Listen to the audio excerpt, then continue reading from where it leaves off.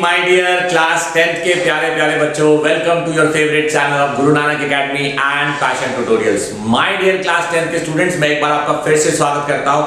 हमारी class tenth की physics में चल रहे बहुत ही important chapter light reflection and refraction के इस नए वीडियो लेक्चर में। अगर आप सोच रहे हैं कि इस वीडियो लेक्चर की गिनती क्या है तो मैं बताना चाहूँगा कि लाइट की पूरी सीरीज़ का ये नौवा वीडियो लेक्चर है। जी हाँ टोटल सात वीडियो लेक्चर मैंने सिर्फ़ रिफ्लेक्शन को समझाने में आपको दिए हैं। मतलब सात लेक्चर रिफ्लेक्शन के मैंने आपको दिए हैं। आठवां लेक्चर रिफ्लेक्शन का एक क्विक रिवीजन लेक्चर था।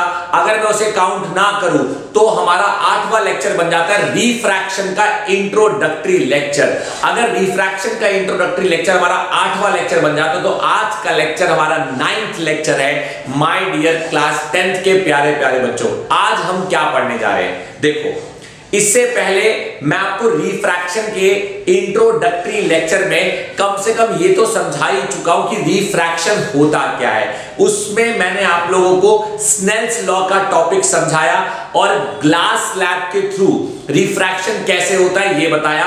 प्लस साथ ही साथ मैंने आपको ये बताया कि जब भी लाइट एक मीडियम से दूसरे मीडियम में ट्रैवल करती है। तो लाइट का आना, आके टकराना टकरा के लौट जाना इज़ कॉल्ड एज रिफ्लेक्शन लेकिन फ़िलहाल मैं रिफ्लेक्शन की बातें नहीं कर रहा हूँ। तो एक बच्चा कहता है, फिर आपने ये बात बोली क्यों? अब पूछो क्यों? क्योंकि रिफ्रैक्शन के अंदर मैं आपको जो भी कुछ नया सिखाऊँगा, वो सारी बातें कहीं ना कहीं थोड़ी थोड़ी रिफ्लेक्शन से रिलेटेड है। इसका मतलब ये नहीं है कि रिफ्रैक्शन की प्रॉपर्टी रिफ्लेक्शन की प्रॉपर्टी से मैच करती है। ये दोनों ही प्रॉपर्टी अपने आप में अलग है। लेकिन समझने के लिए जो फिजिक्स में काम आने वाले शब्द हैं, समझने के लिए फिजिक्स में काम आने वाली जो टर्मिनोलॉजी है, वो बहुत कॉमन है। अब वो कैसे आपको धीरे धीरे पता चलेगा। तो कोई भी ऐसा स्टूडेंट जिसने लाइट का रिफ्लेक्शन वाला पार्ट अभी तक पढ़ा ही नहीं है, वो प्लीज़ आज का ये वीडियो लेक्चर ना देखें, क्योंकि शायद आपको समझने में दिक्कत हो सकती है। So it is my suggestion कि आप एक बार डिस्क्रिप्शन में जाके वो सभी लिंक्स को गो थ्रू करें जिन में रिफ्लेक्शन के वीडियो लेक्चर्स को शेयर किया है, और तब आप रिफ्रैक्शन आराम से समझ सकते हैं। आज मैं आपको क्या पढ़ाने वाला हूँ? Today we are going to talk about introduction to refracting surfaces एक बच्चा बोला इंट्रोडक्शन टू रिफ्रैक्टिंग सर्फेसिस मतलब रिफ्रैक्टिंग सर्फेस क्या होता है? वेरी सिंपल वो हर सरफेस वो हर चीज़ जिसके थ्रू लाइट आर पार ट्रेवल कर सकती है। जी हाँ आर पार। सो लाइट का आना, आके टकराना टकरा के एक बाउंड्री से दूसरी बाउंड्री में जाना ही कहलाता है रिफ्रैक्शन जैसे कि जैसे कि हमारे घर में हमारे सोफा टेबल जो होती है सोफा टेबल मतलब जो सोफा होता है, उसके बीच में एक सेंटर टेबल होती है. आपने देखा होगा सेंटर टेबल में कांच होता है और एक कांच ड्रेसिंग टेबल में भी होता है. तो जो कांच सेंटर टेबल पे होता है और जो कांच ड्रेसिंग टेबल पे होता है, क्या दोनों कांच सेम है? हाँ है तो कांच ही, है तो वो ग्लास ही, लेकिन फ़र्क है। एक हमें हमारी शक्ल दिखाता है और दूसरा हमें उसके आर पार पड़ी हुई चीज़ दिखाता है। आप किसी ज्वेलरी की दुकान में जाते हैं या किसी मोबाइल की दुकान में जाते हैं किसी भी ऐसे शोरूम में जाते हैं जहाँ पे कांच के पीछे सामान रखा होता है। तो उस कांच के थ्रू आपको चीज़ें बहुत अच्छे से चमकती हुई नज़र आती है। खास करके ज्वेलरी की दुकान में आपने अक्सर देखा होगा कि जितनी भी ज्वेलरी होती है वो डिस्प्ले में पड़ी होती है। मोबाइल की दुकानों में ज्वेलरी के जगह मोबाइल पड़े होते हैं। तो आपने नोटिस किया होगा कि जितनी भी लाइट वहाँ पे ज़्यादा ब्राइट होती है, उतना ज़्यादा चीज़ें हमें अच्छे से क्लियरली नज़र आती है, क्योंकि वो लोग इस बात का फ़ायदा उठाते हैं कि उनके शोरूम में, उनकी दुकानों में लाइट आती है, आके शीशों से टकराती है और टकरा के आर पार जाती है। आर पार जाके जो सामान है शीशे के पीछे पड़ा,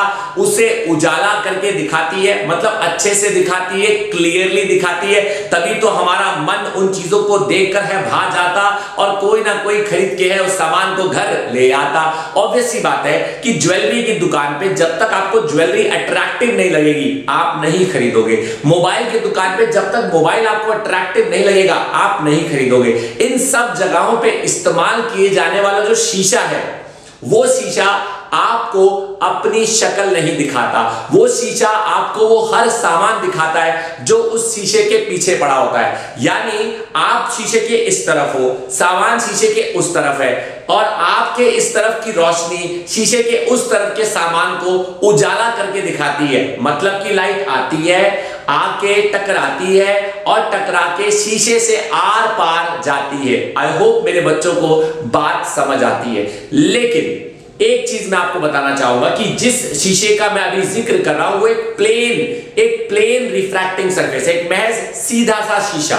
हमारे सिलेबस में हमें उस सीधे शीशे की बात इतनी ज़्यादा नहीं करनी है, जितना ज़्यादा हमें बात करनी है स्फेरिकल रिफ्रैक्टिंग सरफेसेस की। बिल्कुल सही आपने सुना। स्फेरिकल का मतलब होता है गोल आकार। तो गोल आकार का मैंने आपको मिरर पढ़ाया है। अब हमें पढ़ना है गोल आकार का लेंस बिल्कुल सही।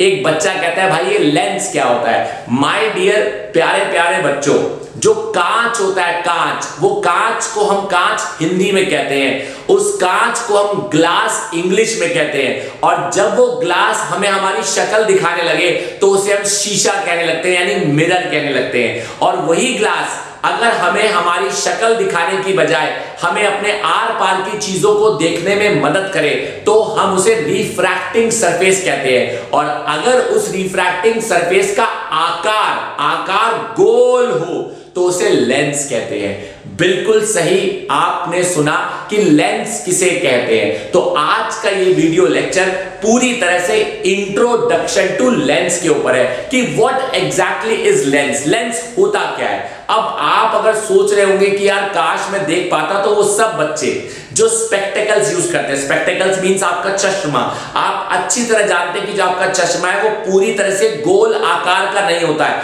लेकिन वो चश्मा जिस लेंस से बनाया गया होता है, वो लेंस का आकार गोल होता है। तो जिस लेंस से वो आपका मिरर जिस लेंस से वो आपका सरफेस बना है, जिस लेंस से वो आपका चश्मा बना है, वो लेंस एक्चुअली में गोल आकार का है। तो गोल आकार का जो सरफेस होता है, यानी उसका आकार जो होता है, वो गोल होता है, लेकिन पूरी तरह से हमें गोल हमारे हाथ में नहीं थमाया जाता। उसका हिस्सा इस्तेमाल करके, कट करके, कोई स्पेसिफिक शेप देके आपके मिरर आपके चश्मे के फ्रेम में लगा दिया जाता है और वो जो सरफेस बनता है, वो लेंस होता है। तो किसी को पास का नज़र नहीं आता है, किसी को दूर का नज़र नहीं आता है तो आपकी आँखों के आगे लगा हुआ लेंस आपको उन तकलीफों को दूर करने में मदद करता है। जिस भी तकलीफ़ से आप जूझ रहे हैं in short in short this refracting surface आपकी आँखों के आगे जो लेंस लगा है, आप चश्मे के रूप में जिसे इस्तेमाल करते हैं, वो सभी लोग जिनको कोई ना कोई तकलीफ़ होती है,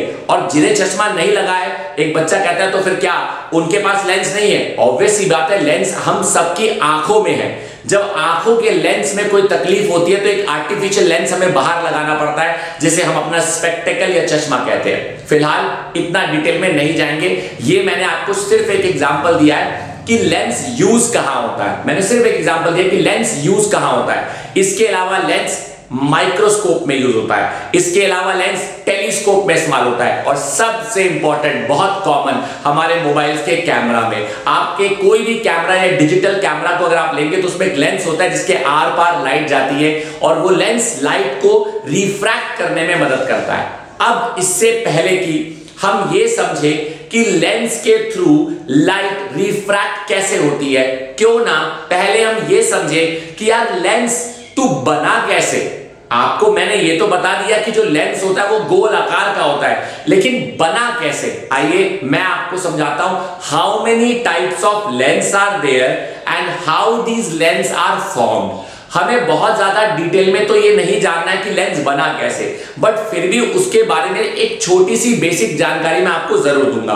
आपके सामने मैं बोर्ड पे डायग्राम बनाऊँगा और डायग्राम बना के आपसे एक सवाल करूँगा जब आप डायग्राम देखोगे तो आपको एक पुरानी बात याद आएगी और उस पुरानी बात से अपनी नई बात को रिलेट करूँगा और आपको टॉपिक में आगे बढ़ाऊँगा। तो सुनो ध्यान से, मैं क्या समझाने जा रहा हूँ। हमारा जो टॉपिक चल रहा है, वो बेसिक सा टॉपिक है। हमारा बेसिक बेसिक टॉपिक चल रहा है। Introduction to spherical refracting surfaces यानी अगर आप मुझसे पूछो, इस टॉपिक का नाम क्या है तो इस टॉपिक का नाम मैं लिखूँगा introduction to spherical introduction to spherical refracting surfaces introduction to spherical refracting surfaces अब ये रिफ्रैक्टिंग सरफेसेस क्या होते हैं रिफ्रैक्टिंग सरफेस मतलब कि वो सरफेस जिनके थ्रू लाइट आर पार जा सकती है और सबसे इंपॉर्टेंट बात ये है कि उनकी जो शेप है, वो स्पेरिकल है। उनकी जो शेप है, वो स्फेरिकल है। मान लीजिए कि मेरे पास ये एक गोल आकार का सरफेस है। मेरे प्यारे प्यारे बच्चों, मेरे पास एक गोल आकार का सरफेस है, एक गोल आकार का। अब अगर आपको याद हो जब मैं आपको रिफ्लेक्शन पढ़ा रहा था, तब मैंने मिरर भी ऐसा ही बनाया था। इस गोल आकार के सरफेस का एक सेंटर होता है और सेंटर से पास करने वाली जो लाइन होती है, इस पूरी लाइन को हम जब यहाँ से यहाँ तक नापते हैं तो उसे हम कहते हैं रेडियस ऑफ़ कर्वेचर और इस हिस्से को हमने पोल कहा था, इसे हमने सी कहा था, यानी सेंटर ऑफ़ कर्वेचर और इसके ठीक आधे पॉइंट पे फोकस था, जिसे हमने फोकस कहा था, और उस फोकस की दूरी को हमने फोकल लेंथ कहा था. एक बच्चा कहता है, सर, ये तो आप मिरर की बातें कर रहे हो, बिल्कुल सही. मैं टॉपिक तो पढ़ा रहा हूँ स्फेरिकल सरफेसेस का, और वो भी कैसे? जो रिफ्रैक्टिंग है। लेकिन बातें मैं किसकी कर रहा हूँ? रिफ्लेक्टिंग सरफेस की। एक बच्चा कहता है, सर, फिर भी हम यकीन नहीं करेंगे। मैंने कहा, क्यों? कहता आपने एक गोल आकार का शीशा तो बना दिया, और शीशे के आपने पार्ट्स भी बना दिए। लेकिन आपने ये कहा मेंशन किया कि ये रिफ्लेक्टिंग पार्ट कहाँ है इसका और नॉन रिफ्लेक्टिंग पार्ट कहाँ है? बिल्कुल सही। किसी भी शीशे की पहचान तब तक नहीं होती। जब तक उस शीशे के डायग्राम में रिफ्लेक्टिंग पार्ट और नॉन रिफ्लेक्टिंग पार्ट मेंशन ना हो। सुनना मेरी बात ध्यान से।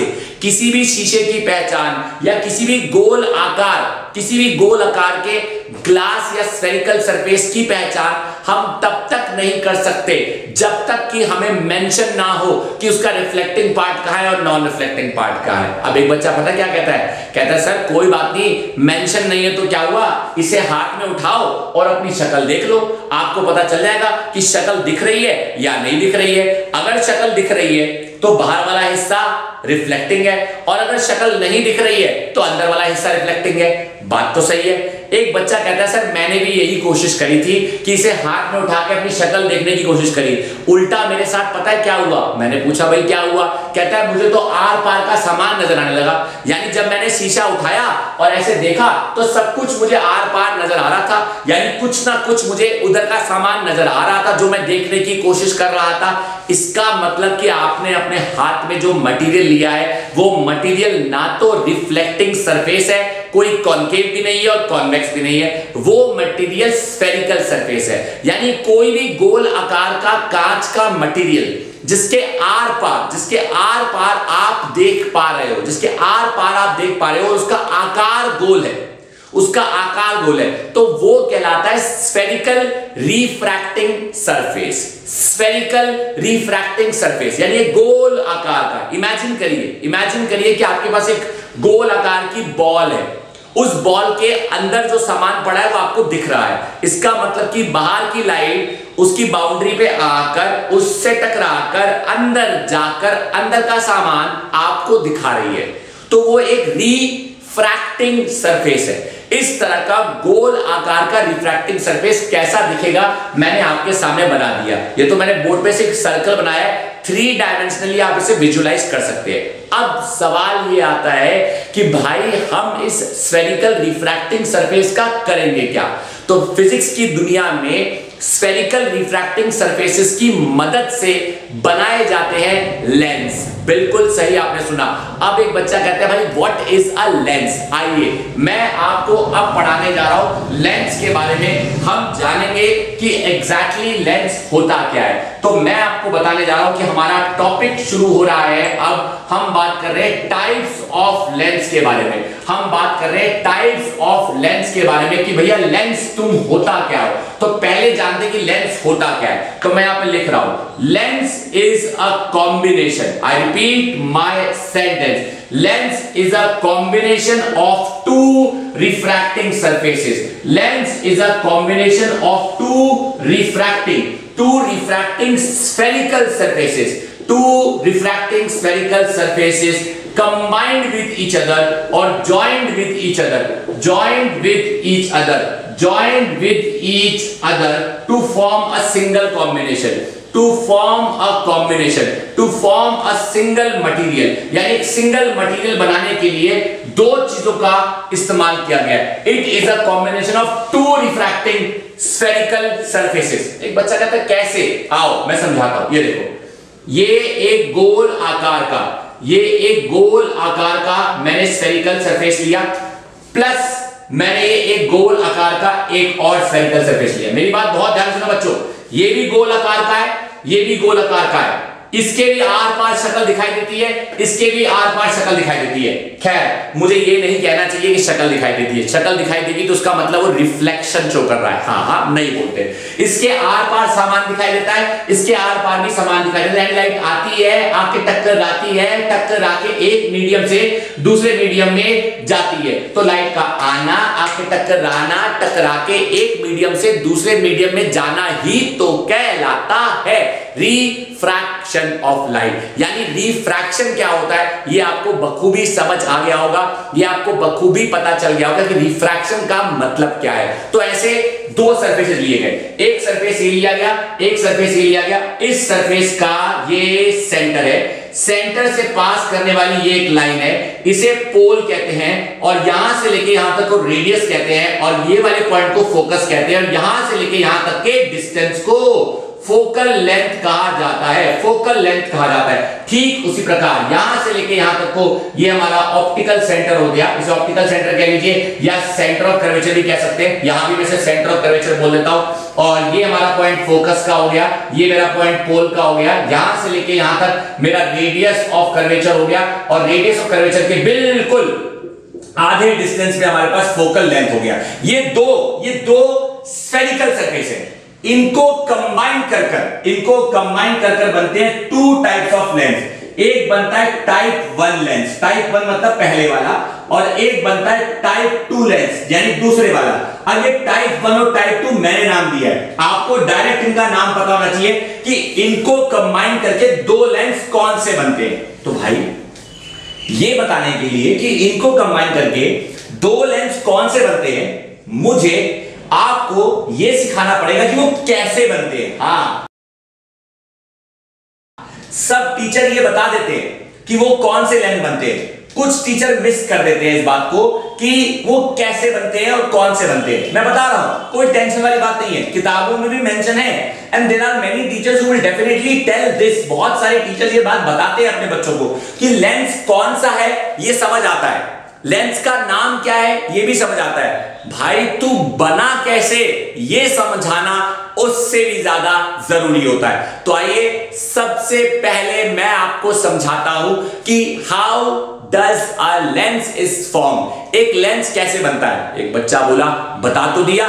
कहाँ बताया? कह रहा ये देखो, आपने तो लिखा है A lens is a combination of two refracting spherical surfaces. एक spherical surface ये एक स्फेरिकल सरफेस ये दोनों को कंबाइन करो तो दो टाइप मिल जाते हैं। तो भाई, दोनों को कंबाइन कैसे करना है? ये भी तो मैटर करता है। आओ, अब आपको वही सिखाता हूँ कि दोनों को कंबाइन कैसे करना है। तो दोनों को कंबाइन कैसे किया जाता है? उसे हम कहते हैं formation of lens by combining two spherical surfaces तो जो मैं बात बताने जा रहा हूँ, ये बात थोड़ी इंपॉर्टेंट है, इस पर ध्यान दीजिएगा। मैं यहाँ पे लिख रहा हूँ, मेरे प्यारे प्यारे क्लास टेंथ के बच्चों, इसे कहते हैं formation of lens formation of lens by combining formation of lens by combining two by combining two spherical surfaces by combining two spherical surfaces as follows as follows. Formation of lens by combining two spherical surfaces as follows. आओ, कैसे combine करेंगे? सबसे पहला तरीका, ये मेरा पहला spherical गोल आकार का स्फेरिकल सरफेस ये मेरा दूसरा गोल आकार का स्फेरिकल सरफेस बिल्कुल सही आपने सुना। नोटिस करो, ये गोल आकार का, ये गोल आकार का। इस वाले गोल आकार का अपना कोई सेंटर रहा होगा। इस वाले गोल आकार का अपना कोई सेंटर रहा होगा। तो इसका सेंटर तो हो गया भैया सी और इसका भी सेंटर हो गया भैया सी अब इसका पोल यहाँ रहा होगा और इसका पोल यहाँ रहा होगा। यहाँ से लेके यहाँ तक जो है इसका, इसे बोलते हैं सी लेफ़्ट इसे बोलते हैं सी राइट तो यहाँ से लेके यहाँ तक हो गया रेडियस ऑफ़ लेफ़्ट और यहाँ से लेके यहाँ तक हो गया रेडियस ऑफ़ राइट देख लो, पहले समझ लो, जब आप ये वाली बाउंड्री स्टडी करोगे तो इसकी तरफ़ ध्यान मत देना। जब इसकी तरफ़ ध्यान दोगे तो इस वाली लेफ़्ट वाली बाउंड्री का ये पोल है, और पोल से लेके सेंटर तक का जो डिस्टेंस है, वो कहलाता है रेडियस ऑफ़ लेफ़्ट सरफेस ठीक उसी प्रकार, ये वाला जो बाउंड्री है, इस बाउंड्री का पोल यहाँ है। पोल से लेके यहाँ तक, और ये पोल से लेके यहाँ तक। एक बच्चा कहते हैं तो मिक्स हो गया? हाँ, बिल्कुल सही। सुनो ध्यान से। दो मिनट के लिए इसे भूल जाओ। सिर्फ़ इस पर फोकस करो। अगर मैं सिर्फ़ लेफ़्ट वाले की बात करूँ तो लेफ़्ट वाले का पोल से लेके सी तक के बीच में कहीं फोकस होगा, कहीं फोकस होगा। और ठीक उसी प्रकार, इसकी अगर बात करूँ, यहाँ से लेके यहाँ तक का भी फोकस कहीं यहाँ होगा। तो आप नोटिस करिए, अगर ये फोकस इस तरफ़ का है और ये फोकस इस तरफ़ का है तो ये वाला जो डिस्टेंस है, ये ट्वाइस ऑफ़ फोकस होगा और ये वाला डिस्टेंस भी ट्वाइस ऑफ़ फोकस होगा। अगर मैं इसे F1 बोलता हूँ तो इसे 2F1 बोलूँगा। इसे अगर मैं F2 बोलता हूँ तो इसे मैं 2F2 बोलूँगा। घूर लो। पहले देखो कि ये हुआ कैसे। आपको ये बात बखूबी समझ आनी चाहिए कि मैंने किया क्या। एक बच्चा कहता है, जब आप समझा रहे थे तो समझ आनी शुरू हो गई थी। अब अचानक से बीच में पता नहीं क्या हुआ। हमारे दिमाग से गायब हो गई। तो हमें नहीं समझ आया। ऐसी बात है? कोई बात नहीं। मैं दोबारा समझाता हूँ। आओ, दोबारा समझाता हूँ। यही चीज़ आपको दोबारा समझा आपको दोबारा समझा देता हूँ। अब देखिए, कैसे? हम फिर से एक सरफेस बनाएँगे। मान लीजिए कि मैंने ये एक गोल आकार का स्फेरिकल सरफेस बना दिया। ये मेरा गोल आकार का एक स्फेरिकल सरफेस है। इस गोल आकार के स्फेरिकल सरफेस का ऑब्वियसली बात है कि यहाँ पे पोल रहा होगा, यहाँ से लेके यहाँ तक ये सेंटर रहा होगा। सेंटर का मतलब हुआ सी और इसके बीचों बीच कहीं पॉइंट रहा होगा फोकस ये तो आप जानते हो, ये पहली बाउंड्री ठीक ऐसे ही मैंने एक और बाउंड्री ले ली और ये भी गोल आकार का। ठीक इसके जैसा है प्रॉपर तरीके से अगर मैं गोल आकार का बनाने की कोशिश करूँ तो ये ठीक इसी के जैसा मैंने एक गोल आकार का बाउंड्री और ले लिया। अब इस गोल आकार की बाउंड्री का पोल यहाँ रहा होगा और यहाँ से लेके यहाँ तक कहीं इसका सेंटर रहा होगा और यहाँ कहीं इसका फोकस रहा होगा। तो एक काम करते हैं, इसे हम मान लेते हैं सरफेस वन इसे हम मान लेते हैं सरफेस टू तो सरफेस वन का पोल ये रहा सरफेस वन का फोकल लेंथ इसे मान लेते हैं एफ़ वन अब जो सेंटर होता है, यहाँ से लेके यहाँ तक का, जो डिस्टेंस होता है, वो होता है रेडियस ऑफ़ कर्वेचर और रेडियस ऑफ़ कर्वेचर जो होता है, वो ट्वाइस ऑफ़ फोकल लेंथ होता है. तो क्या मैं इसे लिख सकता हूँ? टू एफ़ वन बिल्कुल लिख सकता हूँ. बेसिक नॉलेज है. अगर इसे टू एफ़ वन लिख दिया तो ये लेफ़्ट साइड है तो फिर ये एफ़ टू हो जाएगा. इसे मैं एफ़ टू लिखूँगा और इसे मैं लिखूँगा 2F2 अब ये दो बाउंड्री कंबाइन तो हो गई. इन दो बाउंड्री में जो ये वाला हिस्सा है, इन दो बाउंड्री में जो ये वाला हिस्सा है, ये ये हमारा कहलाता है लेंस बिल्कुल सही आपने सुना। ये जो डायग्राम बना है, बिल्कुल पत्ती जैसा, ये ये कहलाता है कॉन्वेक्स लेंस इस हिस्से को अगर मैं गायब कर दूँ, ये देखिए, ये वाला हिस्सा अगर मैं गायब कर दूँ, गायब कर दूँ, गायब कर दूँ, गायब कर दूँ तो बाकी हिस्सा केवल और केवल आपको दर्शा रहा है। ये हिस्सा गायब ये हिस्सा भी गायब यानी जो बचा हुआ गोल आकार का हिस्सा है, वो सिर्फ़ ये बताने की कोशिश कर रहा है कि this part was a part of a spherical surface ये गोल आकार का हिस्सा था। ये वाला हिस्सा भी किसी गोल आकार की बाउंड्री का हिस्सा था। यही वजह है कि हमारे चश्मों में, हमारे स्पेक्टेकल्स में लगा लेंस हमें पूरा गोल आकार में नज़र नहीं आता क्योंकि वो किसी गोल आकार के रिफ्रैक्टिंग सरफेस का हिस्सा था। जिसे कंबाइन करके आपके चश्मे में लगाने के लिए उसे बनाया गया। अब बनाने के दो तरीके हैं।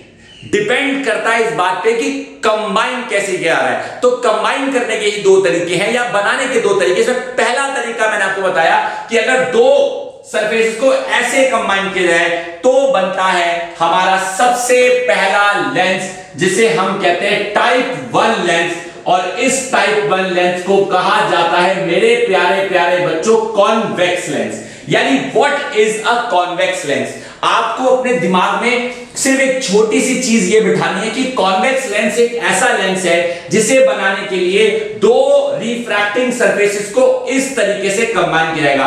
कॉन्वेक्स लेंस एक ऐसा लेंस है जिसे बनाने के लिए दो रिफ्रैक्टिंग सरफेसेस को ऐसे कंबाइन किया जाएगा। कॉन्वेक्स लेंस एक ऐसा लेंस है जिसे बनाने के लिए दो रिफ्रैक्टिंग सर्फेस को ऐसे कंबाइन किया जाएगा तब हमें ऐसी शेप का लेंस मिलेगा। एक बच्चा कहता है, जाओ।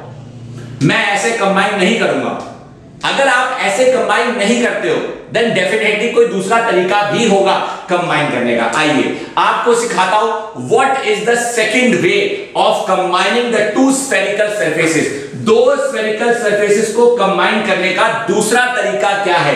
दो स्फेरिकल सर्फेस को कंबाइन करने का दूसरा तरीका क्या है? आइए, मैं सिखाता हूँ। ये देखिए, ये मेरा पहला गोल आकार का स्फेरिकल सरफेस और ये मेरा दूसरा गोल आकार का स्फेरिकल सरफेस ये मेरा दूसरा गोल आकार का स्फेरिकल सरफेस दूसरा वाला थोड़ा गोल आकार का ढंग से नहीं बन पाया तो इसे दोबारा बना देते हैं. इसे दोबारा बना देते हैं. आइए, दोबारा बनाते हैं. ये मेरा दूसरा गोल आकार का स्फेरिकल सरफेस आप देख रहे हैं।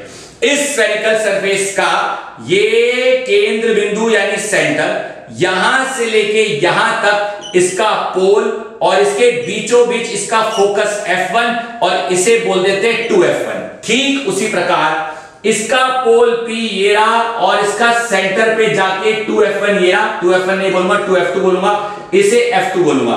क्योंकि ये पहला सरफेस है और ये दूसरा सरफेस है। अब मैंने दोनों को पहले के जैसे मिक्स नहीं किया है। अगर मैं दोनों को यहाँ से कंबाइन कर दूँ, ये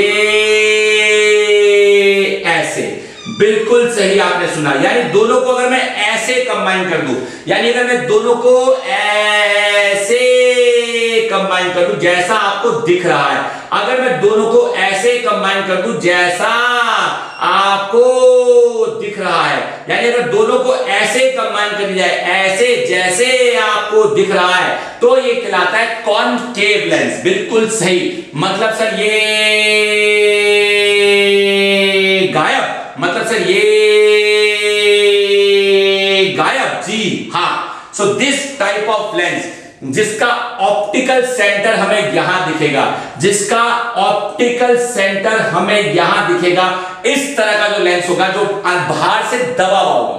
तो फ़र्क क्या है? मैंने इससे पहले जो आपको लेंस बना के दिखाया था, वो कॉन्वेक्स लेंस था। कॉन्वेक्स लेंस बल्ज आउट करता है। बल्ज आउट मतलब फूला हुआ होता है। आप किसी भी लेंस को अगर पकड़ोगे ना बच्चों तो आपको उसे टच करके ही पता चल जाएगा कि वेदर वो फूला हुआ है या वेदर वो दबा हुआ है। दबा हुआ मीन्स ऐसे इस तरह से गड्ढा बना हुआ। तो अगर किसी लेंस को छूने पर आपको ऐसा महसूस होता है कि वो कटोरी जैसा है, कटोरी जैसा। तो समझ जाओ कि वो कौन केव है। लेकिन अगर किसी लेंस को छूने पर महसूस करने पर आपको ऐसे फूला हुआ दिखता है तो समझ जाओ कि वो बल्ज आउट है, यानी वो कॉन्वेक्स लेंस है। वो अंदर की तरफ़ है, यानी वो कॉनकेव लेंस है। तो बातों बातों में मैंने आपको रिफ्रैक्टिंग सरफेसेस की मदद से लेंस कैसा बनता है और कैसा दिखता है और उसके इंपॉर्टेंट कंपोनेंट्स क्या है, वो मैंने बता दिया। अब इसी चीज़ को मान लेते हैं कि एक परसेंट एक परसेंट मैं आपको बना के नहीं दिखाता। मान लो मैं आपको फॉर्मेशन दिखाता ही नहीं। तो अगर मैं आपको फॉर्मेशन दिखाए बिना भी ये बात समझाता तो कैसे समझाता वो सुनो अब। यानी मैं सीधा मैं सीधा इतनी बात करने की बजाय एक टॉपिक पे जंप कर जाता। मैं सीधा इतनी बात जो मैंने यहाँ करी, अगर मैं ये मेरे बच्चों ये बात ही नहीं करता, ये सब आपको सिखाता ही नहीं तो मैं करता क्या? मैं कुछ भी नहीं करता, मैं सीधा एक हेडिंग लिख देता और लिख देता two types of refracting lenses बिल्कुल सही। मैं सीधा यहाँ पे हेडिंग डालता two types of lens two types of lens में सबसे पहले मैं यहाँ लिखता कॉन्वेक्स लेंस सबसे पहले मैं लिखता कॉन्वेक्स लेंस यानी सबसे पहले मैं यहाँ पे एक छोटी सी हेडिंग डाल देता और लिख देता कॉन्वेक्स लेंस और दूसरे लेंस की अगर मैं बात करता तो मैं बिना ज़्यादा टाइम गवाए, इतना डिटेल में समझाए बिना ही सीधा लिख देता कॉन्केव लेंस और आपके लिए डायग्राम बना देता कि बच्चों कॉन्वेक्स लेंस दिखता है कुछ ऐसा। कॉन्वेक्स लेंस दिखता है कुछ ऐसा, और कॉन्केव लेंस दिखता है कुछ ऐसा। ये इस तरह का जो लेंस होता है, वो कॉन्केव लेंस होता है। और बिना इससे पहले वाली बात बताए, मैं सीधा ये कहता कि ये वाला सरफेस किसी गोल आकार का हिस्सा होता है। ये वाला सरफेस भी किसी गोल आकार का हिस्सा होता है।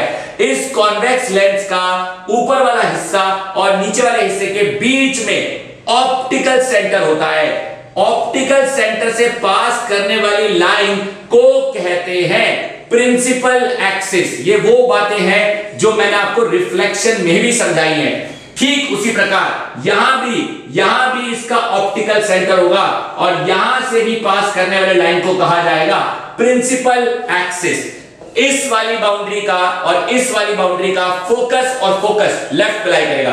तो इस वाली बाउंड्री का फोकस राइट पे लाई करेगा, इस वाली बाउंड्री का फोकस यहाँ लाई करेगा। तो इसे हम बोलते हैं F1 तो यहाँ पे कहीं जाके बोलेंगे 2F1 फिर यहाँ पे मैं कहीं बोलूँगा F2 और यहाँ पे कहीं जाके बोलूँगा 2F2 ठीक उसी प्रकार, यहाँ बोलूँगा F1 यहाँ बोलूँगा 2F1 यहाँ बोलूँगा F2 और यहाँ बोलूँगा 2F2 मेरे प्यारे प्यारे क्लास टेंथ के बच्चों, आपके सामने जो है डायग्राम दिया, इसे अच्छे से घूरो, इसे देखो, समझो और फिर मैं कहता हूँ कि ये बात जानो कि कैसे मैंने आपको टू टाइप्स ऑफ़ लेंस के बारे में बताया यानी ये दूसरा तरीका है। बताई तो वही बात है ना। इससे पहले मैंने सेम बात डिटेल में बताई थी। जाओ, नहीं बताता, अगर नहीं बताता तो भी तो टॉपिक पढ़ाना था ना तो कैसे पढ़ाता? सीधा बोल देता। बच्चों, दो प्रकार के लेंस होते हैं। एक होता है कॉन्वेक्स लेंस ऐसा दिखता है। एक होता है कॉन्केव लेंस ऐसा दिखता है। कॉन्वेक्स लेंस पे दो फोकस होते हैं। एक फोकस राइट साइड पे, एक फोकस लेफ़्ट साइड पे। एक बच्चा बोला, दो फोकस कैसे हो सकते हैं? जब सरफेस दो है तो फोकस भी दो होंगे सेंटर भी दो होंगे तो इस फोकस का डबल 2f1 इस फोकस का डबल 2f2 इस फोकस का डबल 2f1 इस फोकस का डबल 2f2 एक बार देखो, दो बार घूरो, आए मन में कोई सवाल, मेरे बच्चों मचाओ बवाल। This is something very very important my dear class tenth के प्यारे प्यारे बच्चों, ये वो चीज़ है जो मैं आपको समझाना चाह रहा था in a very very simple manner मैंने ये चीज़ आपके लिए बहुत आसान करने की कोशिश करी है कि कैसे कैसे दो प्रकार के लेंस हो सकते हैं। अब हमें क्या जानना है? अब हमें बहुत ज़्यादा डिटेल में कुछ नहीं जानना है, लेकिन अगर कुछ जानना है तो वो है कि भाई, चलो ठीक है ठीक है, माना कि ये लेंस है। तो भाई, लेंस करता क्या है? नाइस क्वेश्चन लेंस करता है रिफ्रैक्शन यानी लेंस के थ्रू होता है रिफ्रैक्शन अब लेंस के थ्रू रिफ्रैक्शन कैसे होता है? उसे आपको मैं ठीक उसी तरीके से समझाऊँगा, जिस तरीके से, जिस तरीके से मैंने आपको रिफ्लेक्शन समझाया था।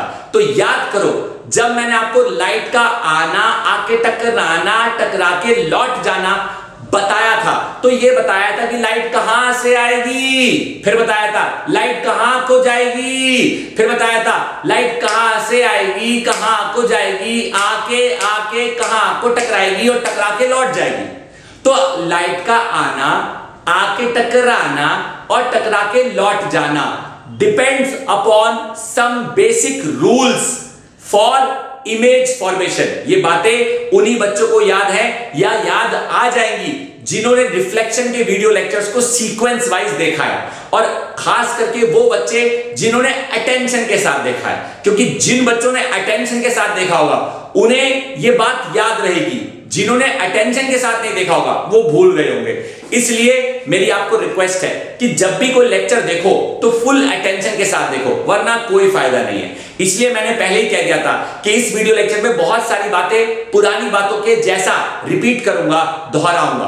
तो जिस तरह से लाइट का आना, आके टकराना और टकरा के लौट जाने के कुछ बेसिक रूल्स होते हैं, ठीक उसी प्रकार लाइट का आना, आके टकराना, टकरा के आर पार जाना के भी कुछ बेसिक रूल्स होते हैं। उन्हें हम कहते हैं rules for refraction rules for refraction और इससे पहले मैंने आपको सिखाए थे रूल्स फॉर रिफ्लेक्शन एक बच्चा कहता है रूल्स किस चीज़ के?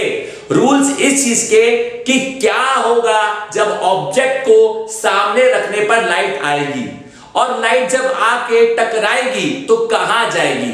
ठीक उसी प्रकार क्या होगा जब कोई ऑब्जेक्ट किसी लेंस के सामने आएगा और उसकी रोशनी जब लेंस तक जाएगी तो कहाँ उसकी इमेज बनेगी? इसके कुछ बेसिक रूल्स होते हैं। याद करिए, मैंने आपको जब मिरर का टॉपिक पढ़ाया था तो कॉन्केव मिरर के रूल्स पहले पढ़ाए थे। और कॉन्केव मिरर के रूल्स पढ़ाने के बाद उनका इमेज फॉर्मेशन सिखाया था। ठीक उसी के बाद मैंने एक पूरा लेक्चर कॉन्वेक्स मिरर पे बनाया था। अब ठीक उसी तरह, अब आपको मैं बताने जा रहा हूँ रूल्स ऑफ़ रिफ्रैक्शन सबसे पहले मैं आपको कॉन्वेक्स बताऊँगा, फिर कॉन्केव पे जाऊँगा।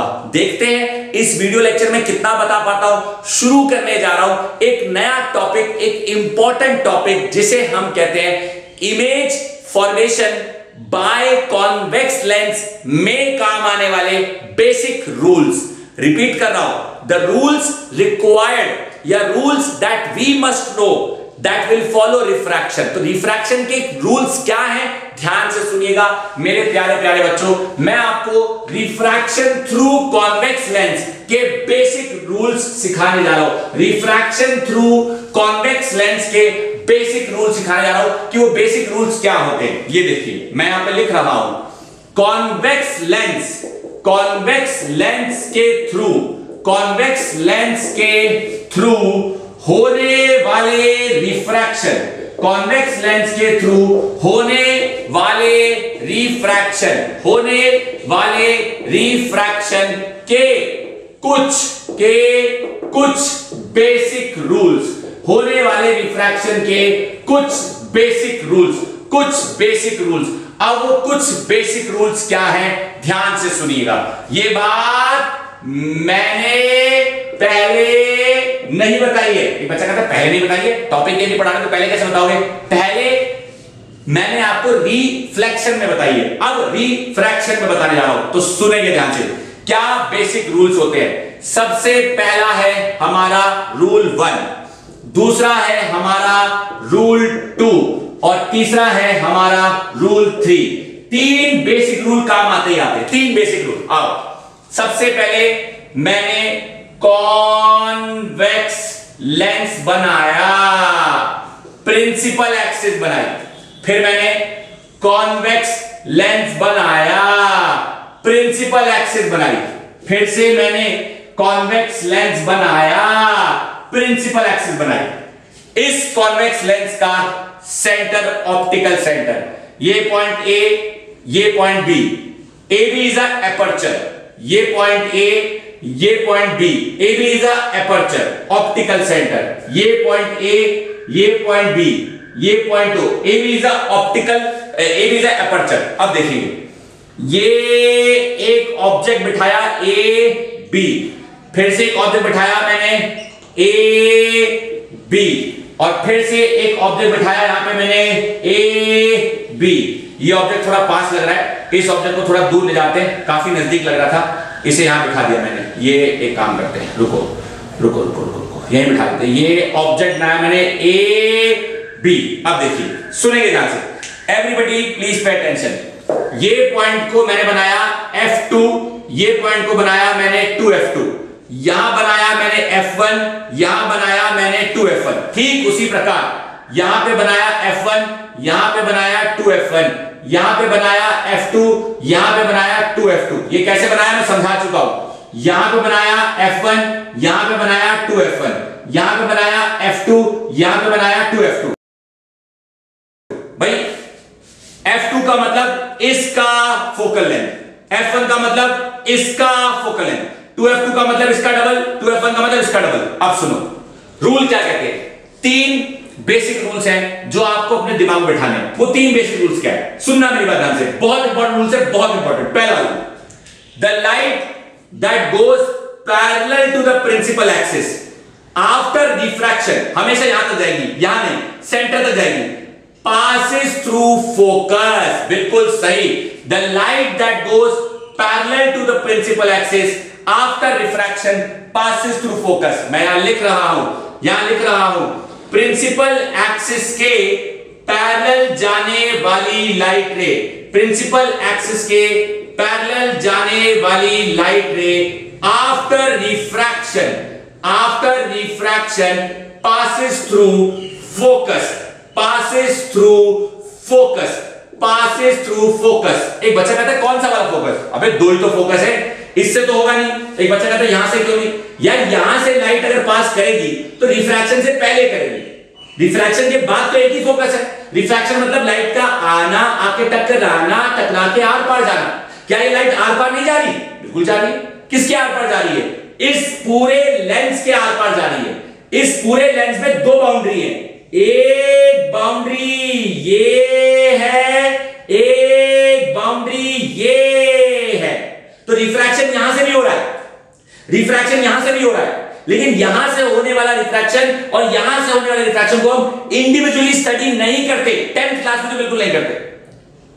यहाँ से होने वाले रिफ्रैक्शन और यहाँ से होने वाले रिफ्रैक्शन के कॉम्बिनेशन को हम स्टडी करते हैं। इसलिए एक रूल बनाया गया the light that goes parallel to the principal axis after refraction passes through focus my dear class tenth के बच्चों, एक बात ध्यान से देख लीजिएगा। रूल नंबर टू क्या कहता है? रूल नंबर टू कहता है the light that passes through focus the light that passes through focus after refraction goes parallel to principal axis बिल्कुल सही आपने सुना। यानी मैं यहाँ पे लिख रहा हूँ। यानी वो लाइट वो लाइट जो फोकस से गुजरती भी आती है।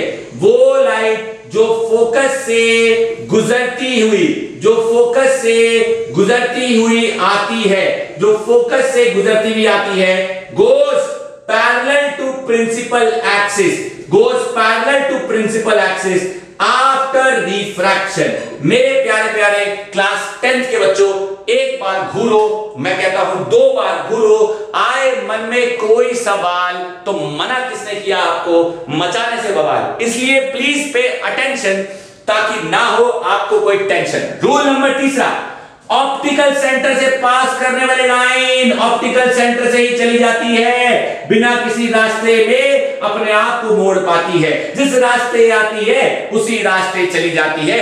आर पार चली जाती है। यानी मैं यहाँ पे साफ़ साफ़ लिख रहा हूँ। Light passing through light passing through light passing through optical centre light passing through optical centre continues to travel straight. Light passing through optical center continues to travel straight and refracts, continues to travel straight. मेरे प्यारे प्यारे class 10th के बच्चों, मैंने आपके सामने जो diagram बनाए हैं, मैंने आपके सामने जो तीन बेसिक रूल्स बनाए हैं, ये रूल्स अभी मैंने केवल और केवल केवल और केवल कॉन्वेक्स लेंस के लिए बनाए केवल और केवल कॉन्वेक्स लेंस की बात करी है, मैंने कॉन्केव लेंस की बात नहीं करी।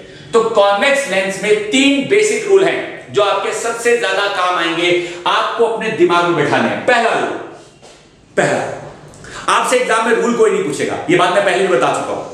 रूल हमेशा अप्लाई करने को आता है। रूल पे क्वेश्चन नहीं आता। तो पहला rule the light that comes parallel to the principal axis after refraction passes through focus.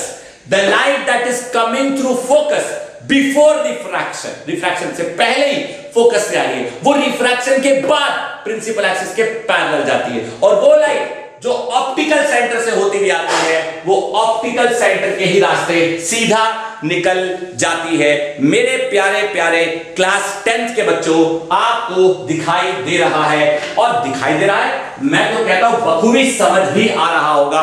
This is something very very important to which I want each one of you to pay complete attention ताकि ना हो आप में से किसी बच्चे को इस बात को समझने में कोई भी टेंशन यस समझ आना चाहिए। रूल सिखाए टॉपिक शुरू किया है। खत्म नहीं किया है। रूल सिखाए अप्लाई करना भी सिखाऊँगा। बहुत जल्द लौट कर आऊँगा मेरे बच्चों, एक नया वीडियो लेक्चर लेके, जिसमें मैं आपको कॉन्वेक्स लेंस के द्वारा इमेज फॉर्मेशन रूल्स इस्तेमाल करके सिखाऊँगा। कॉन्वेक्स लेंस का टॉपिक खत्म होगा। तो तो कॉनकेव लेंस पे जाऊँगा, लेकिन पहले सारी बातें कॉन्वेक्स लेंस की बताऊँगा। आई होप आपको मैं समझा पाया हूँ, आगे भी इस टॉपिक को क्लियर करा पाऊँगा। माय डियर क्लास टेंथ के प्यारे प्यारे बच्चों, तब तक के लिए, जब तक के लिए नया वीडियो लेक्चर नहीं आता है, मत करिएगा अपना टाइम वेस्ट और हाँ, सबसे इंपॉर्टेंट अगर आपको मेरे द्वारा सिखाया हुआ सारा ज्ञान इस वीडियो लेक्चर में और इससे पहले के वीडियो लेक्चर्स में समझ आ गया है। तो अपने सभी दोस्तों और साथियों के साथ शेयर करना ना भूलें। अगर चैनल सब्सक्राइब नहीं किया है तो वो भी ज़रूर कर लें। आपने इस वीडियो लेक्चर को देखने में जो अपना कीमती वक्त दिया, उसके लिए मेरी तरफ़ से आपका तह दिल से शुक्रिया। Thank you once again my dear students